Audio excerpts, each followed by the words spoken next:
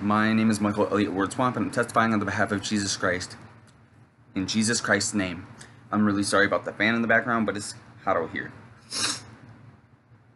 I'm testifying about, it's a testimony about something I haven't testified about yet. Um, these things have been happening to me for 10 years, 25 times a day. So I have a lot of testimony to reveal. So it's going to take me a very long time to bring it all to my mind. I've even been asking Jesus. I've even been asking Jesus to uh, grant me remembrance of everything that I've been through with him for the past uh, 10 years. this testimony is about the devil has been visiting me regularly once every three days for about six hours a day when I try to lay down to take a nap because God know He knows it knows that God has given all prophets prophetic dreams in this time beyond measure. So it's been visiting me, trying to intimidate me, trying to make me not testify. Whenever the devil breathes in my face now, with great anger, it reveals to me, um, it tries to intimidate me, but now I just laugh at it and say, Get away from me, Satan, you joke in Jesus' name.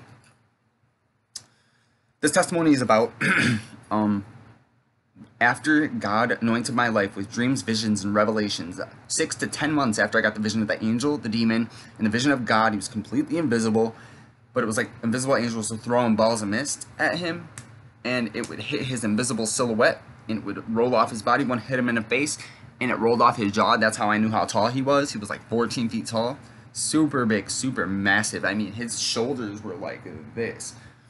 Um, Six to ten months after that day, this happened. I couldn't sleep. I was terrified, just like anybody would be when it, this just starts happening to them, when they know that demons are around them, but they're completely invisible. It's terrifying. It's traumatizing. It's petrifying. Petrifying. Terrifying. So it's impossible to sleep, especially when their main mission is to deprive you of sleep. I went to my cousin Marjorie's house so that I could go to sleep. I needed to be around somebody.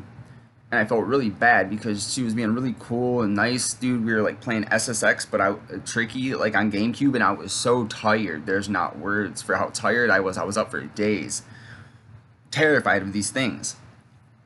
So I told her, I'm just so tired, Marjorie. I gotta go to sleep. So to be like super nice, just like she is, she went into the living room, put the blinds down, give me a pillow and a blanket, and shut the lights off. I didn't want to be disrespectful, so I didn't turn the lights back on, but I was deathly terrified because I was in the dark. I'm laying on that couch. and, um, and, um, I did not expect this, but, so I'm laying on the couch, and I got the covers on, but it's only covering my waist, the covers. They're not up to my chest.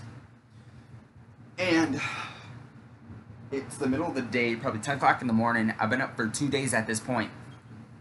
And I hear the devil that's been visiting me once every three days for the past two to three weeks now, doing this. And it, it I didn't know it was right in my, it was right next to my face, and I didn't know it, and it went. I just spit all over the computer. I'm really sorry about that, but it went when the devil breathes, when you when you have a discernment of spirits and hear the devil speak, when you hear the devil speak, it sounds completely different than any other demon because it sounds like an evil god. It's a perfectly evil god. And that's what it is. Jesus said the devil is the god of this world, and it is. When it talks, you know it's the devil. I don't even think you have to have a discernment of spirits to understand that it's the devil when you hear the devil talk if you're ever ever able to hear the devil talk. So I didn't know it was the devil at the time, but I know I knew it was something perfectly evil, perfectly full of hatred toward me. And it breathed. And it's been doing this for the past three days, trying to lay in this bed, trying to take a nap.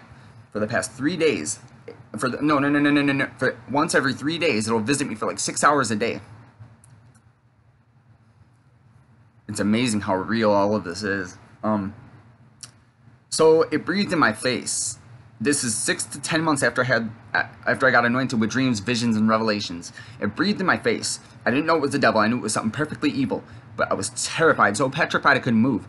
I was so terrified that I couldn't even pull the covers up over my head because I was petrified, stiff, but the covers were like right here, and I I was so scared I could barely move my eyeballs, and I'm like I got the pillow, and I'm like this, and I'm like I, I was like this, like looking up at it because I I knew it was right in front of me, whatever it was, and it, I felt a finger with a fingernail reach through my skin, my chest, and my ribs, and it touched my heart, and it poked it. You know how your heart goes bump bump bump bump. This is what mine did. Bump bump. When it poked me, it went bump bump bump, and it it like it was it beated super hard, so hard that it made my whole body vibrate, and at the same time, my whole body got warm from my heart, and it got warm about to right here.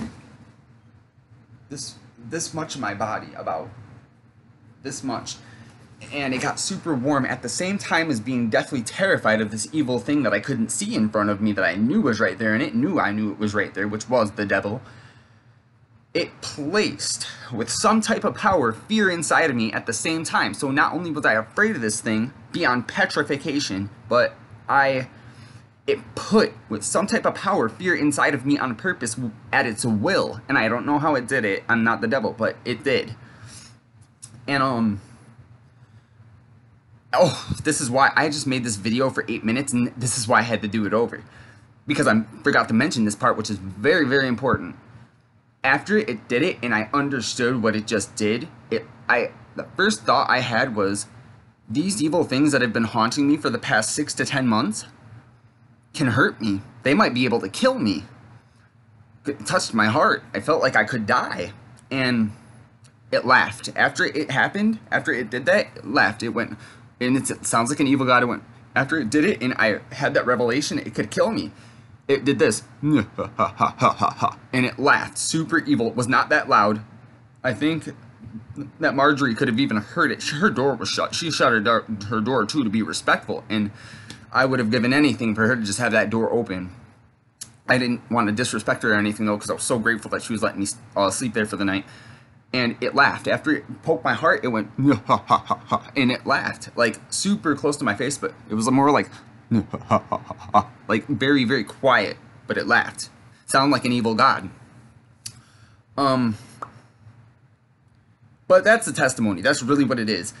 The devil's been visiting me so much lately. In some of my my later videos, about a year ago when I started making this these testimonies, because I didn't have a laptop at the time, because prophets and saints are always really poor and they always look really crazy.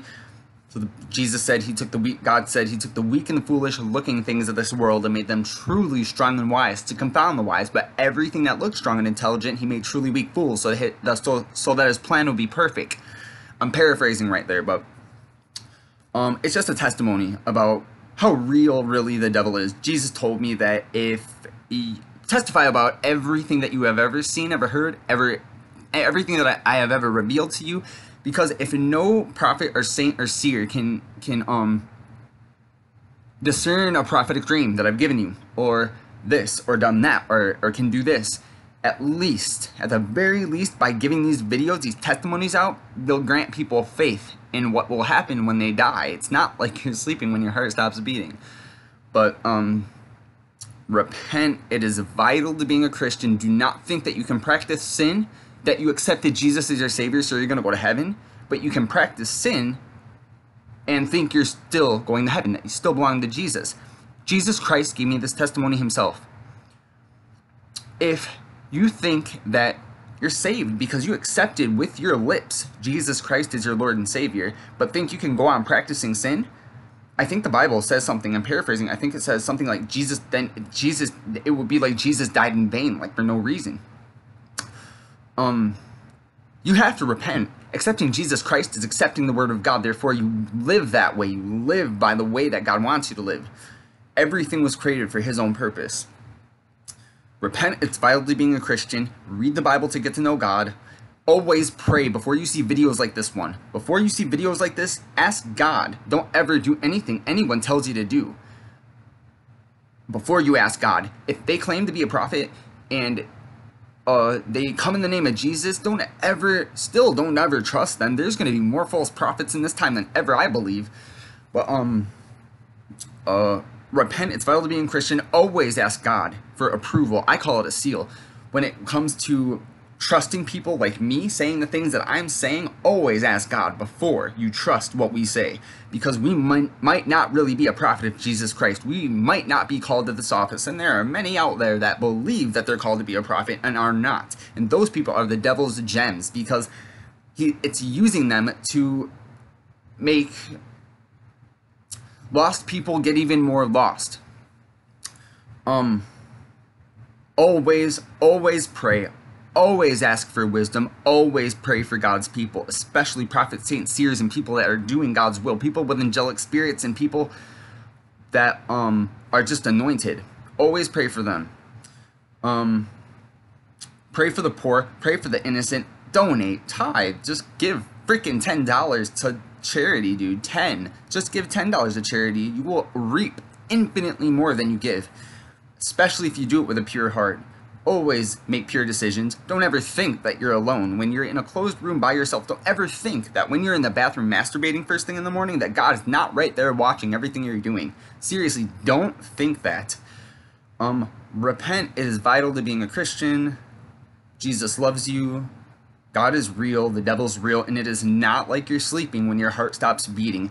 Hell is real, it's terrifying, it's petrifying, it's hopeless, and it's eternal.